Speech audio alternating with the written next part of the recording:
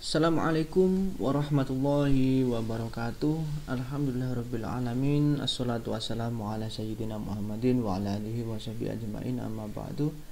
Selamat pagi anak-anakku sekalian. Saya banggakan anak-anak kelas 7 Semoga kita selalu mendapat lindungan Allah subhanahu wa ta'ala. Pada pembelajaran awal ini Dalam mata pelajaran pendidikan agama Islam Yang akan kita bahas pada hari ini yang pertama pada tema ini itu adalah lebih dekat dengan Allah Subhanahu wa taala yang sangat indah namanya. Selanjutnya ini adalah peta konsep yang tentang materi yang akan saya saya bahas kepada kalian pada hari ini dimulai dari iman kepada Allah, mempelajari dan memahami iman kepada Allah tentang Asmaul Husna, terus ada beberapa banyak Asmaul Husna dan bagaimana contoh perilaku kita mencerminkan keteladanan terhadap Al-Asmaul Husna. Ini peta materi yang akan saya jelaskan pada bab ini. Yang selanjutnya, perhatikan gambar di bawah ini. Ada beberapa gambar di situ ada gambar ceramah, terus mencari ilmu, terus ada yang mengaji. Nah, menurutmu apa kaitan gambar tersebut dengan iman kepada Allah? Nah, apa kaitannya?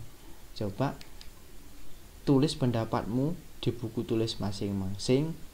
Nanti apabila sudah ada pendapatmu tentang gambar ini, kalian tulis di buku, lalu kalian foto dan kirimkan foto itu melalui grup WA. Oke, selanjutnya kita akan bahas yang pertama yaitu iman kepada Allah. Apa sih pengertian iman kepada Allah? Iman kepada Allah di sini diartikan secara harfiah atau menurut bahasa iman itu percaya Secara istilah, iman itu berarti percaya dan meyakini dengan sepenuh hati, mengucapkan dengan lisan dan membuktikan dengan perbuatan. Artinya, iman itu tidak cukup dengan lisan saja, tapi harus dengan hati, kepercayaan dengan hati. Jadi hati dengan lisan pun tidak cukup, harus membuktikan bahwasanya kita iman kepada Allah Subhanahu wa taala dengan perbuatan kita maka tadi pada awal tadi ada orang mendengarkan ceramah agama ada orang yang menuntut ilmu. Itu gambaran-gambaran tentang iman kepada Allah sikap yang baik bagaimana kita itu beriman kepada Allah seperti itu. Maka sekali lagi iman itu diartikan secara istilah percaya dan meyakini dengan sepenuh hati mengucapkan dengan lisan dan membuktikan dengan perbuatan perlu diketahui bahwa iman kepada Allah itu termasuk rukun iman yang pertama dari salah satu enam rukun iman yang kita ketahui. Maka iman yang pertama ini kita harus wajib iman kepada Allah itu wajib percaya. Kalau tidak kita akan mendapat dosa dari Allah Subhanahu wa taala.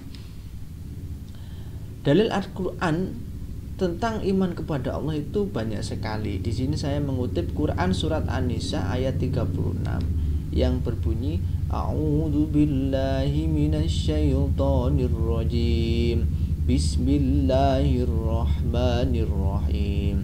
يا أيها الذين آمنوا بالله ورسوله والكتاب الذي نزل على رسوله الذي نزل على رسوله والكتاب الذي أنزل من قبل ومن يكفر بالله وملائكته وكتبه ورسله واليوم الآخر واليوم الآخر فقد ضل ضلالا بعيدا Artinya, hai orang-orang yang beriman, tetaplah beriman kepada Allah dan Rasulnya dan kepada kitab yang Allah turunkan kepada Rasulnya serta kitab yang Allah turunkan sebelumnya. Di sini sudah jelas bahwasanya kita diperintahkan oleh Allah yang ada dalam Al-Qur'an, kita disuruh untuk beriman kepada Allah, kepada Rasul, kepada kitab-kitabnya dan kepada semuanya yang turun dari Allah wajib kita imani. Di sinilah dasar Al-Quran Kalau kita sudah mengetahui tentang dasarnya ada di Al-Quran Kalau kita tidak beriman tentang adanya Allah Kita akan mendapatkan dosa yang amat besar Oke penjelasan saya cukup sampai di situ tentang pengertian iman kepada Allah. Mungkin cukup sampai sini dulu. Apabila nanti ada yang kurang paham atau kurang mengerti tentang penjelasan yang sudah saya jelaskan tadi tentang iman kepada Allah, segera ditanyakan sebelum lupa. Oke, melalui via Google Classroom boleh, komentar di Google Classroom boleh, melalui via WA juga boleh. Terima kasih. Saya akhiri. Assalamualaikum warahmatullahi wabarakatuh.